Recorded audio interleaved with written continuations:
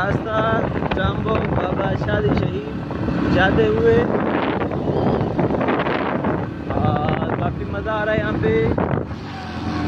बहुत ज़्यादा इंजॉय कर रहे हैं यहाँ।